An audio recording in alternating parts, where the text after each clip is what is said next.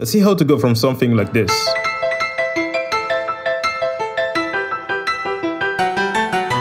Something more like that.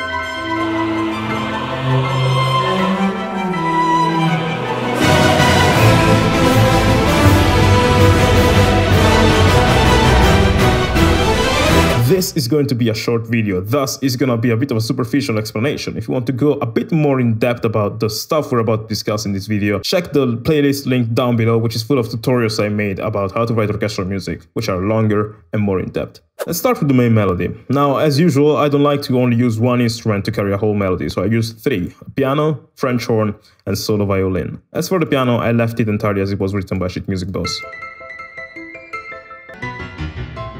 What I like about this is that on the highest octave you have the melody, and on the lowest octaves you tend to have uh, chords and harmonizations and stuff like that. Here, those harmonizations go much lower. So now you kind of, in the second half of this passage, the piano brings a sort of, sort of like a warmth and a bass that wasn't there before. So that's cool. And I wanted to replicate the idea on the whole orchestration. So we're going to see the second half is going to sound way more intense than the first half. I added a solo violin on top of that.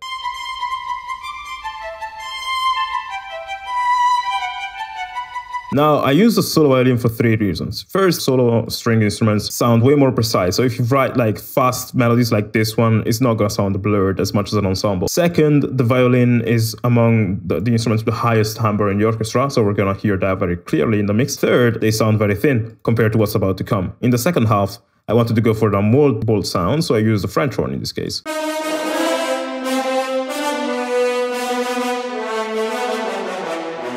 And uh, also another thing I did is here in the beginning, you have this passage.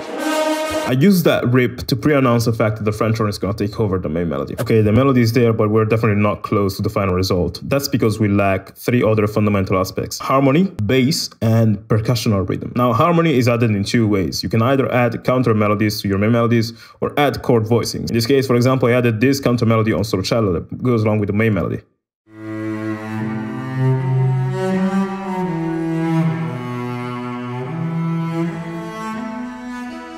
Now, that's one way to write those counter melodies because in this case, I'm writing them in an instrument that has a lower timbre compared to the solo violin, so it's not going to steal the show. Another way in which you can go about this is write counter melodies that play when the main melody is resting. So that's the case for the choirs here.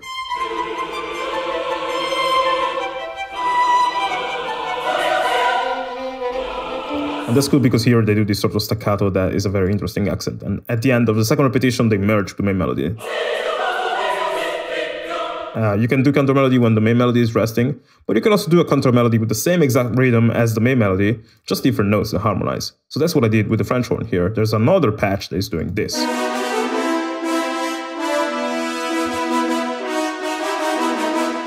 I also have that going on in the trumpets. I think it's the same notes, but when you add different brass, brass instruments like that, like French horn plus trumpets, you get a brighter tone because of the trumpets.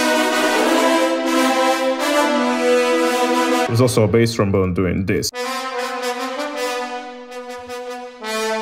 And that gives this brass section way more definition than it had when I only used French horns. I also have some violas. Now the track is missing the boldness that I wanted to have in the second half compared to the first, and that's because I still haven't added any bass instruments. So I added double basses, cellos, and tubas to solve that problem. These are called pizzicato notes. The pizzicato articulation is the one where you pluck the string instrument rather than playing it with the bow. It sounds more round, more soft. I use this one because in this track, these bass notes, which are taken from the piano, are kind of rowdy and moving around a lot and they're kind of fast. If you write fast notes with low instruments, that's gonna muddy your mix up very quick. So if you use pizzicatos, that's gonna make it a bit more sustainable. The cellos are doing this. and on the tubas I'm doing the same exact thing.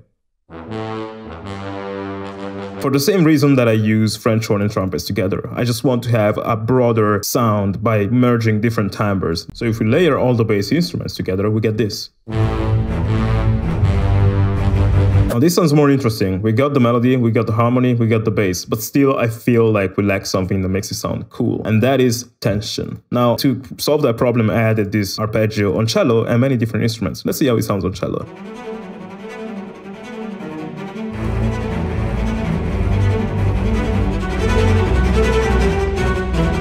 The idea is I wanted to have something that creates sort of like a rising tension, like a riser does in electronic music. So repetition and variation can help. As you see, this sort of arpeggio is the same, but then it varies a little bit. And then in this second half, after a certain point, it goes to a higher octave, and then there's a variation and this scale at the end. This scale is a very bold way to end this statement that makes you understand as a listener, this is the end of the section, something new is coming. That is what more beginners need to use in their music. Some instruments, some elements, some risers that tell the listener a big change is coming. I did that by using cellos, but also first violins, second violins, flutes, and glockenspiel. Basically, this arpeggio evolves through time, and in time, it's gonna get to higher and higher tones until it's very, very hearable.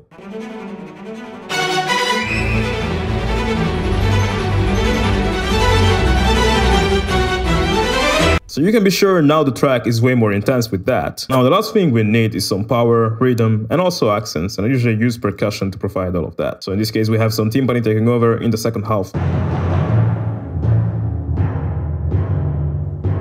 It's alteration between rolls and normal notes. Now, the normal notes follow the same notes as our bass lines on piano and everything else.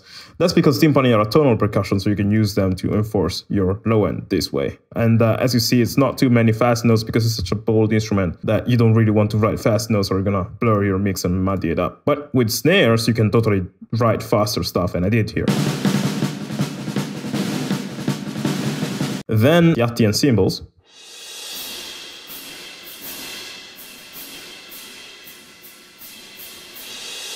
That are pretty much determining the, the, the, accents of the track. Whenever you use these sort of sounds, the cymbals and the piatti, it, they're going to open up your track, and uh, thus they're going to make everything sound way more amazing. And then I also have some tubular bells kind of following the melody here and there. All together, this is how the track sounds like.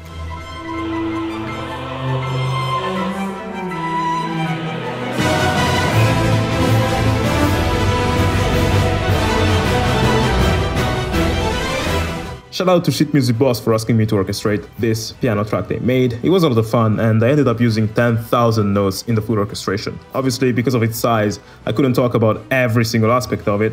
Thus, I want to leave you guys a resource if you want to analyze the full orchestration by yourself in your DAW. I'm gonna leave you the project stems of this track. You can get them if you subscribe to my newsletter through the link down below. So I hope you can learn something out of this video, and I hope you're gonna learn something out of the orchestral stems that you can get down below. That's it. I'm gonna see you guys in the next video. Bye.